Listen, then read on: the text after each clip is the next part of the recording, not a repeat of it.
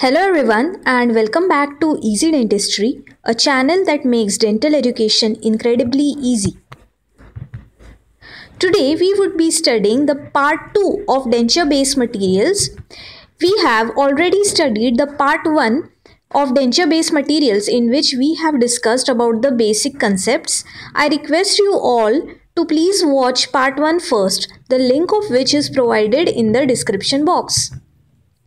And friends, please, please, please subscribe to our channel and also put on the notification bell so that whenever we upload a new video, you get a notification of it. So in this part 2 of denture based materials, we would be studying in detail about the heat activated denture based material, the compression molding technique, the injection molding technique, then we would be studying about the chemically activated denture base resins, then the light activated denture base resins and finally we will be studying a quiz. So starting with today's topic, types of resins which are used in dentistry are acrylic resins, vinyl resins, polystyrene and epoxy resins. Other resins such as polycarbonates polyurethane and cyanoacrylate are also used.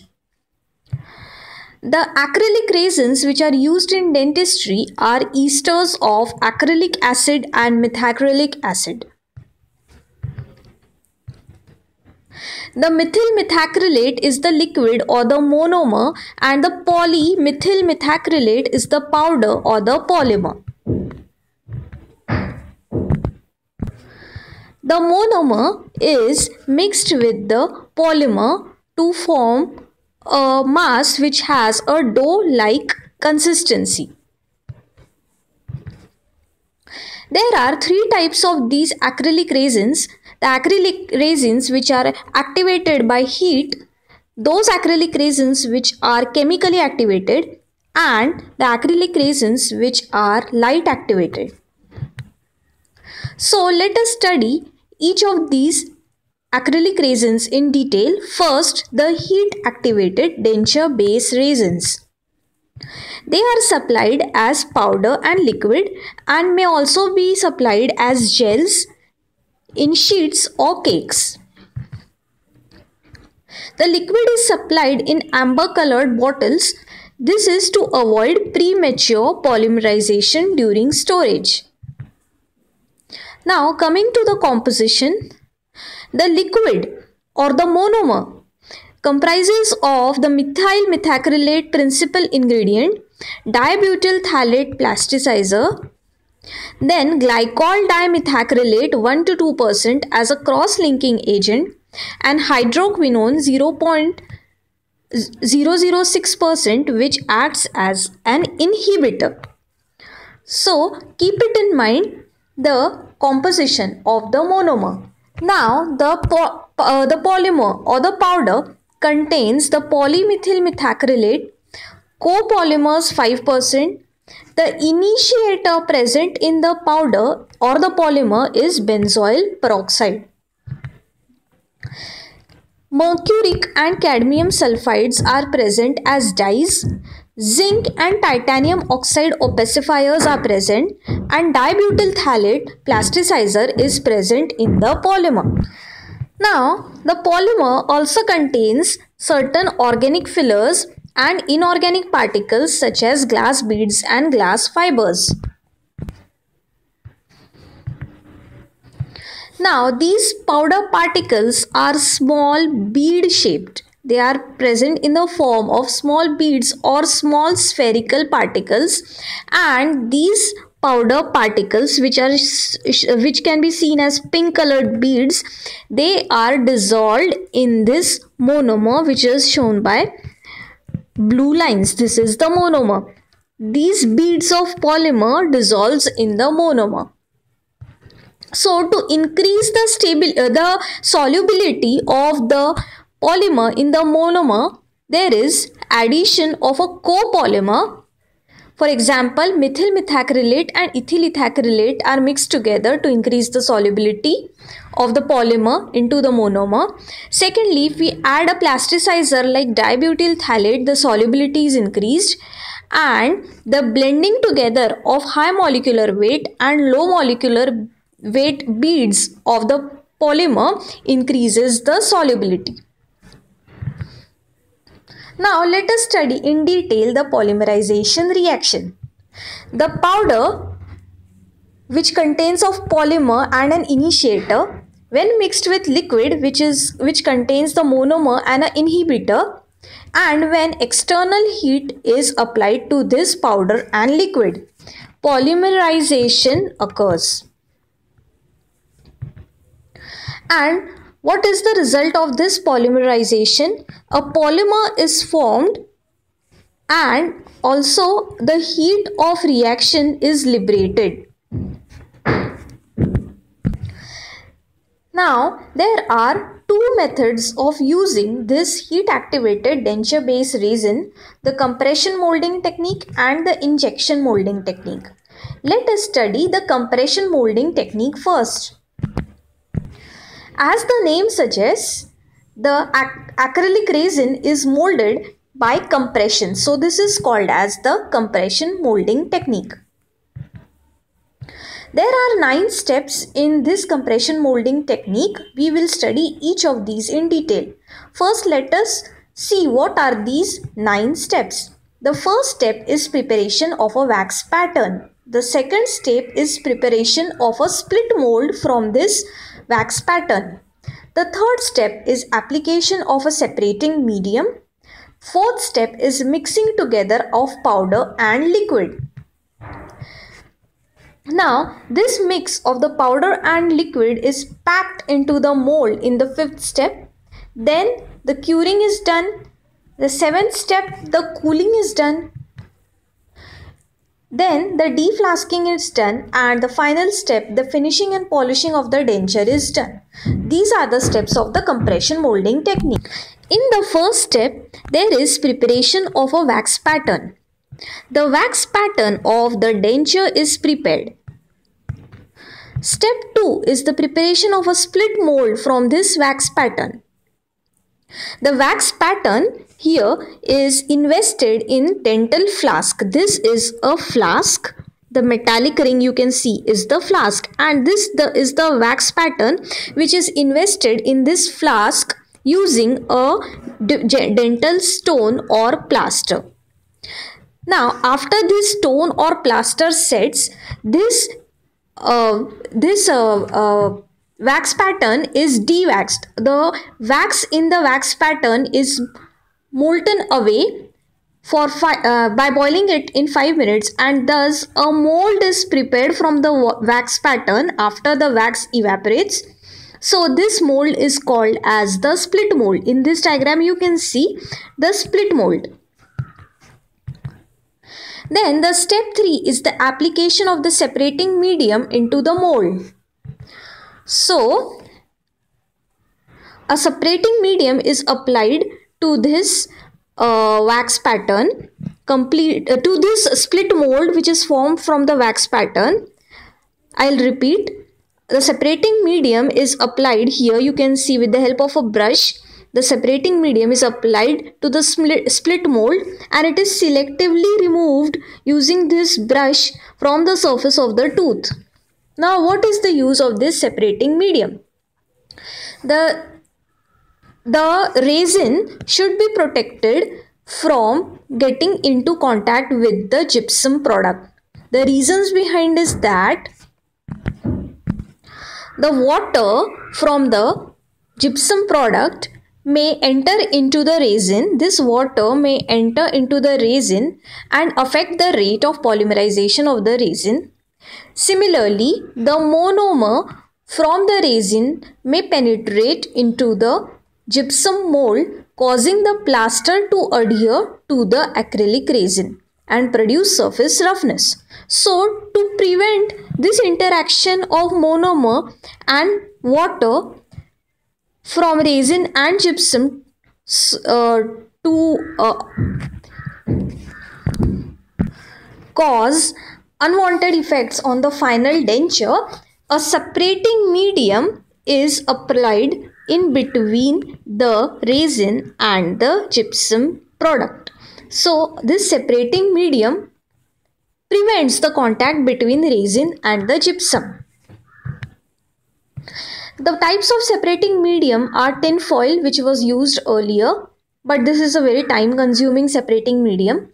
Cellulose lacquers, sodium alginate, sodium silicate, evaporated milk, soaps and starches are the uh, very commonly used separating medium in dentistry out of which the most popular one is sodium alginate.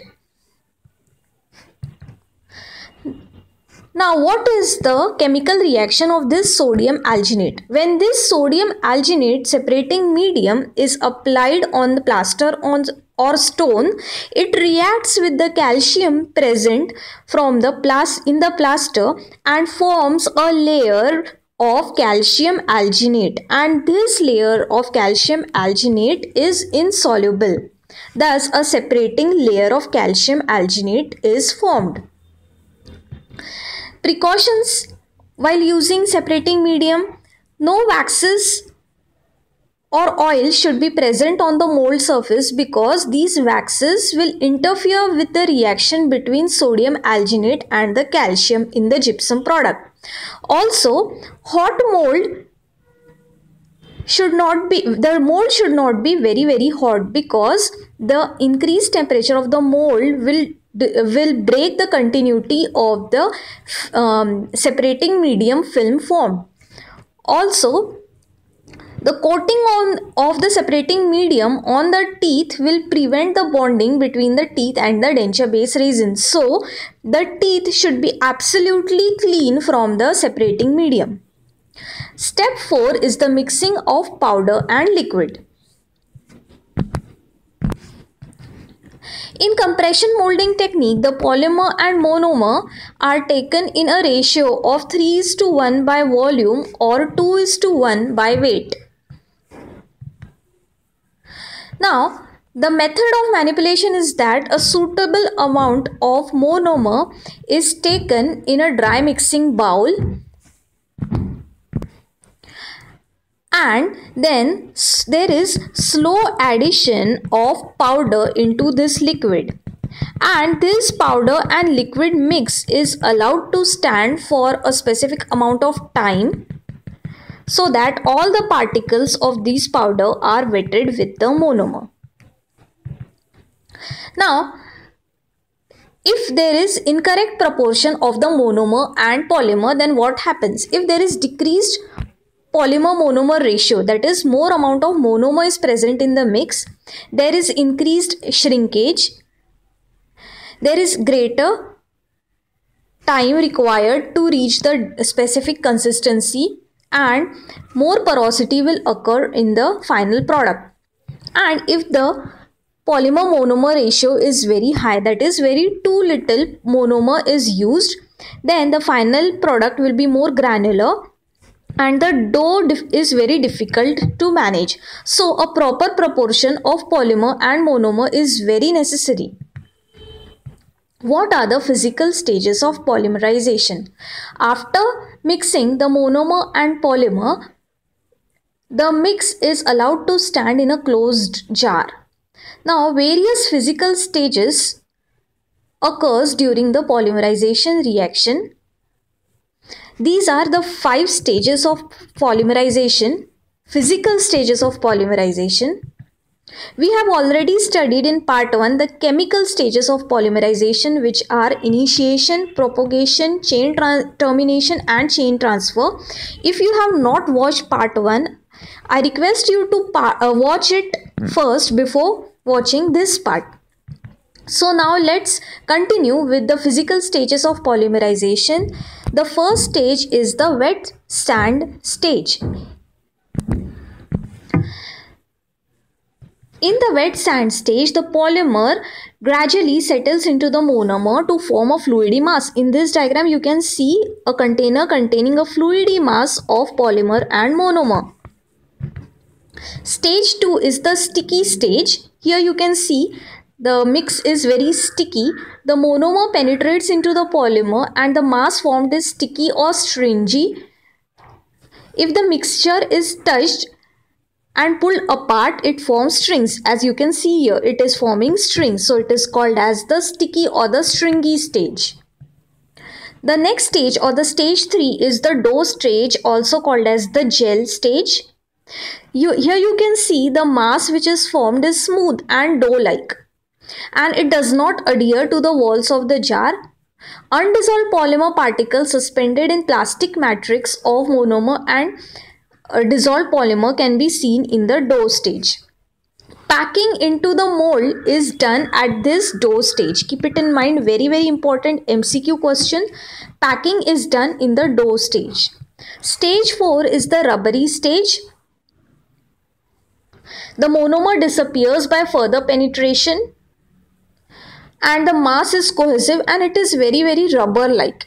It cannot be molded at the rubbery stage and the final stage is the stiff stage which is of no use in making the denture. Now two important concepts we will study here is what is dough forming time and what is the working time.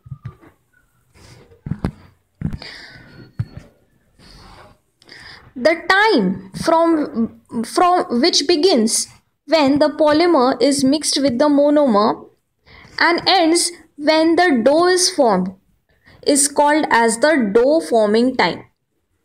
The time which elapses from the mixing of polymer with monomer till the formation of the dough stage is called as the dough forming time. What are the factors affecting the dough forming time? First, the degree of polymerization. Increased polymerization decreases the dough forming time. Second, the particle size. If the particle size are very very small, then the dough forming time is also reduced. Then the polymer to monomer ratio. If the polymer to monomer ratio is high, that is if less amount of monomer is present, then the dough forming time is also less. Then the fourth factor affecting this dough forming time is the temperature. If the temperature is increased, then the dough forming time is decreased. Also, if a plasticizer is added, then the dough forming time is reduced. Now, what is the working time?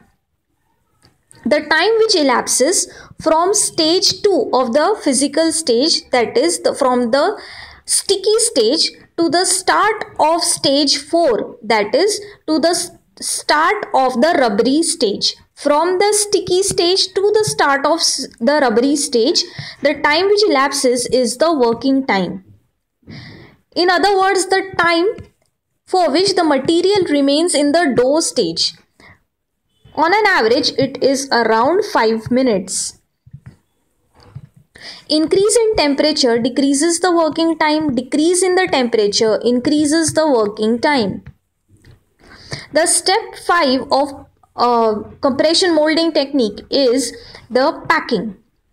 Packing is done at dough consistency. If it is done in sticky stage when the monomer content is very much high, there is increased risk of porosity and the material is very very flowy and may flow out of the flask. And if it is done in the stiff stage, there is too high viscosity. So the, the material cannot be uh, molded properly to record fine details. Also, there may be fracture of teeth and increased vertical dimension of the denture. So this is a pictorial representation in which we can see the mix of polymer and monomer in the dough stage is packed into the split mold. Now trial packaging is done. What is trial packing? Trial packing is done using a cellophane film as a separator. Now when a cellophane strip, you can see in this diagram a cellophane strip is placed over the, uh, the, uh, the dough and then pressure is applied. Because of this, the excess amount of dough flows out. You can see here the excess amount of dough it flows out from the mold. And this excess dough is called as flash. This flash is discarded and tri by trimming it. And then the cellophane strip is removed. Now the step 6 is the curing. After final closure Flask should remain at room temperature for 30 to 60 minutes. This is called as bench curing. Bench curing increases the flow period of the uh, resin and it helps in equalization of pressure throughout the mold. Also, more uniform dispersion of monomer occurs by bench curing. Now, what is the curing cycle?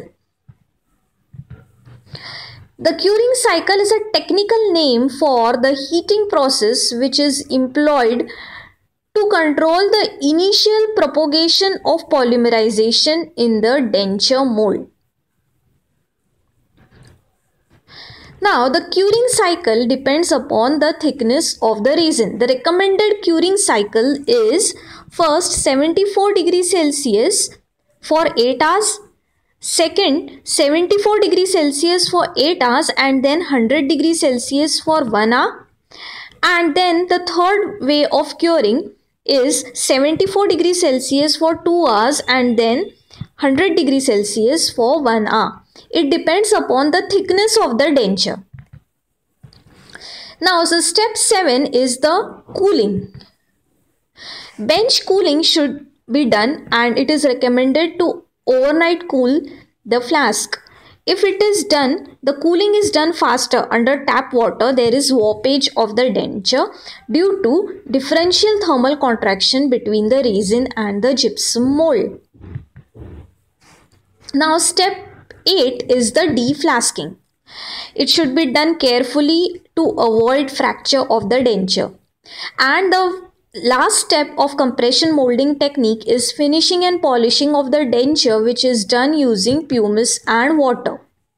The next technique of, heat, uh, of the manipulation of the heat activated denture base resin is the injection molding technique. Let us study it in detail.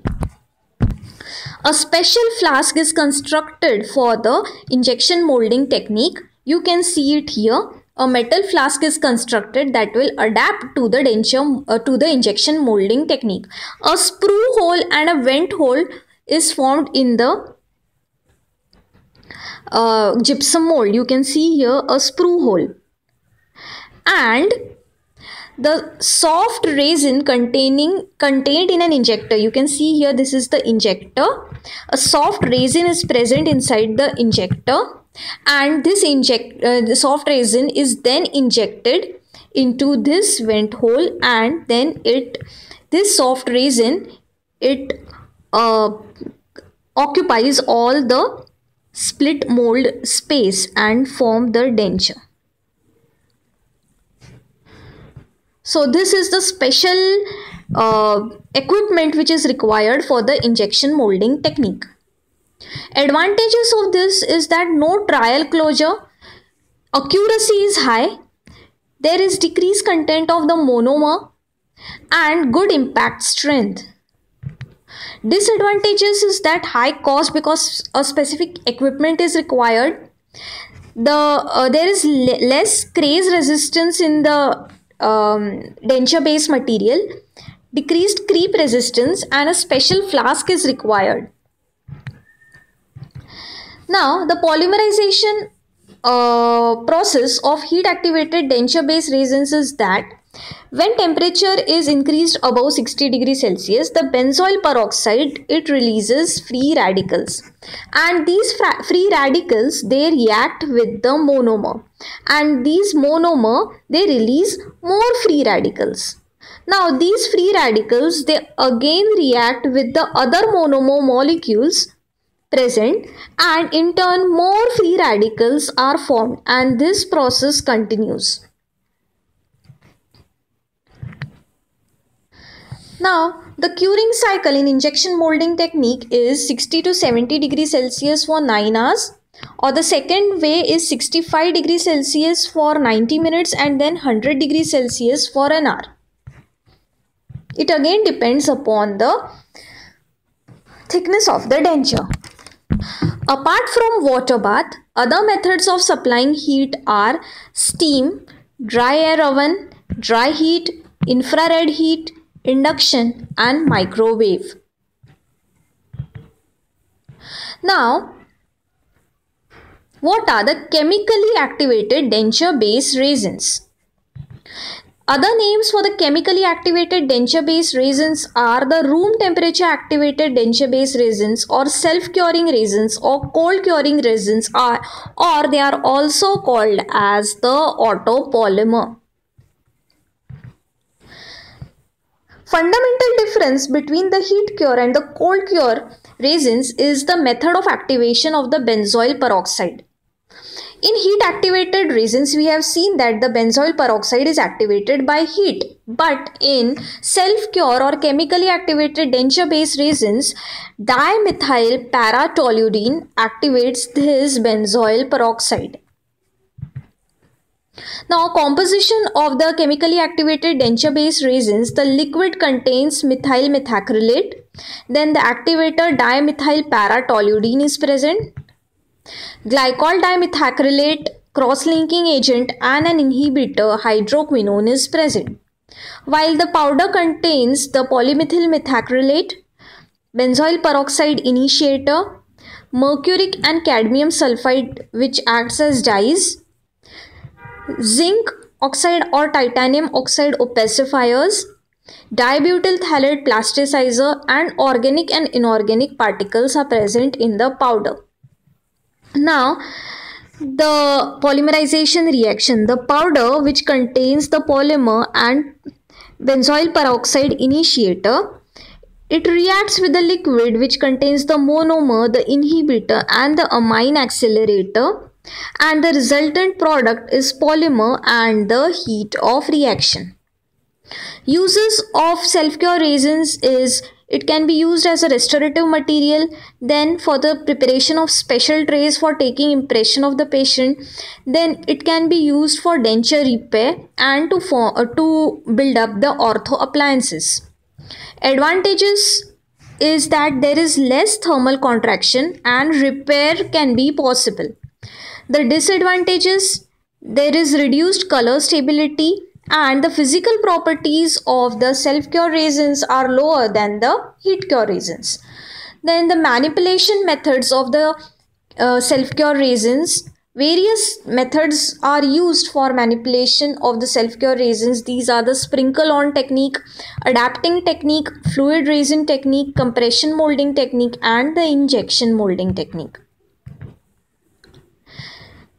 we will study the fluid resin technique in detail. This fluid resin technique is used for the pour type acrylic resin. Now, what is this pour type acrylic resin? In this type of resin, the high molecular weight polymer particles are grounded into very small size and then they are suspended into the monomer to form a fluidy mix. So, it is called as the pour type acrylic resin. The polymer to monomer ratio in the pour type acrylic resin ranges from 2 is to 1 to 2.5 is to 1.